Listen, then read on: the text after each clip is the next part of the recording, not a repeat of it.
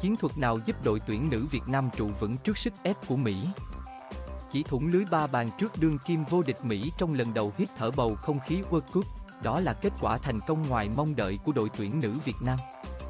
Chiến thuật hợp lý Sau trận đấu với đội tuyển nữ Mỹ ngày 22 tháng 7 trong khuôn khổ bảng E World Cup 2023, huấn luyện viên Mai Đức Chung khẳng định, chúng tôi biết các trận đấu ở World Cup rất khó khăn, đá với đội tuyển đương kim vô địch thì lại càng khó khăn hơn nữa. Nhưng, đội tuyển nữ Việt Nam có thể thua về chuyên môn, tầm vóc, sức mạnh, nhưng ở khía cạnh tinh thần. Chúng tôi luôn cố gắng. Đội tuyển nữ Việt Nam đã giữ lời hứa, có tinh thần thi đấu tốt. Tinh thần vững vàng đã giúp đội tuyển nữ Việt Nam có trận đấu đầy nỗ lực trước Mỹ. Tuy nhiên, yếu tố căn bản để đội bóng của huấn luyện viên Mai Đức Chung đứng vững nằm ở chiến thuật. Nếu chỉ cố gắng thuần túy mà không có phương pháp tiếp cận trận đấu đúng đắn, đội tuyển nữ Việt Nam sẽ không thể đứng vững trước áp lực ngàn cân mà đội tuyển nữ Mỹ tạo ra. Huấn luyện viên Mai Đức Chung tiết lộ bí quyết giúp thủ môn Kim Thanh cản phá phạt đền của đội tuyển Mỹ. Việc Dương Thị Vân chấn thương còn Thanh Nhã bị sốt trước ngày thi đấu khiến huấn luyện viên Mai Đức Chung mất hai quân bài quan trọng. Tuy nhiên, ban huấn luyện đội tuyển nữ Việt Nam đã chuẩn bị rất kỹ lưỡng về con người, cho thấy không cầu thủ nào là không bị thay thế. Đội tuyển nữ Mỹ có trận đấu không dễ dàng. Sơ đồ 5, 4, một sở trường được sử dụng ở trận này, với 5 hậu vệ đá giăng ngang bảo vệ vòng cấm, 4 tiền vệ tạo thành lớp phòng vệ thứ hai, còn Huỳnh Như đá cao nhất trên hàng công. So với trận giao hữu với đội tuyển nữ New Zealand, huấn luyện viên Mai Đức Chung rút một tiền đạo, Hải Yến, để thay bằng một tiền vệ, Hải Linh, nhằm tăng cường sức tranh chấp ở tuyến giữa. Điểm chung của bốn tiền vệ gồm Bích Thùy, Hải Linh, Tuyết Dung và Thái Thị Thảo mà huấn luyện viên Mai Đức Chung sử dụng ở trận này nằm ở chỗ, các cầu thủ đều đeo bám, tranh chấp tốt đồng thời giữ được bóng.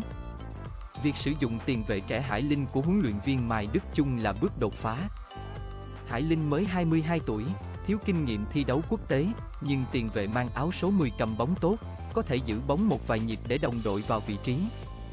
Tuyến giữa của đội tuyển nữ Việt Nam đóng vai trò chìa khóa ở trận này, khi bên cạnh che chắn cho hàng thủ, các tiền vệ còn phải cầm nhịp để không bị cuốn vào lối chơi cơ bắp, tốc độ và trực diện của đối thủ.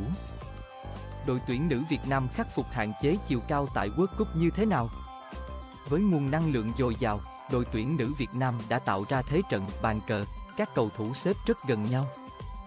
Mỗi khi một cầu thủ bị vượt qua, lập tức có người khác bọc lót ở khoảng cách rất gần. Huấn luyện viên Mai Đức Chung chia sẻ, chúng tôi thực hiện được yêu cầu bọc lót, áp sát, khiến đối thủ không có khoảng trống để tổ chức tấn công. Đội tuyển nữ Việt Nam hứng chịu 28 pha dứt điểm, nhưng chỉ 7 trong số đó, tương đương 25%, đi trúng đích bởi hầu hết các tình huống sút bóng của Mỹ đều ở trạng thái không thoải mái. Các cầu thủ ở thế sẵn sàng bọc lót cho nhau. Bức tường phòng ngự hai tầng của đội tuyển nữ Việt Nam đã mang đến thử thách khó cho hàng tiền đạo Mỹ. Cả ba bàn thắng của Mỹ đều đến từ những khoảnh khắc trên cơ về trình độ cá nhân. Đó là Alex Morgan với pha giật gót ấn tượng, hay Sophia Smith với những tình huống càng lướt, bứt tốc. Còn trên khía cạnh phối hợp tập thể, khoảng cách giữa hai đội đã bị thu hẹp.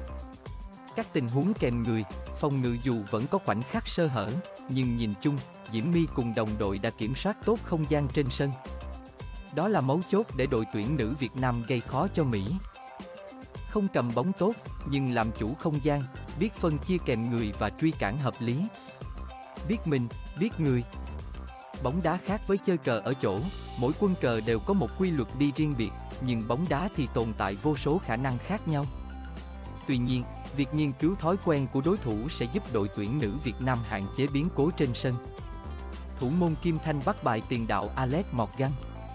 Cách Kim Thanh xem trước hướng sút của Alex Morgan để bắt bài trên chấm phạt đền cho thấy quá trình chuẩn bị, mổ băng kỹ càng của đội tuyển nữ Việt Nam. Và không chỉ Kim Thanh, các cầu thủ Việt Nam đều được phân tích thói quen chơi bóng của Mỹ để tìm phương án hóa giải. Là đội bóng yếu nhất trong bảng đấu, đội tuyển nữ Việt Nam phải chơi biết mình biết người để nuôi hy vọng tạo bất ngờ.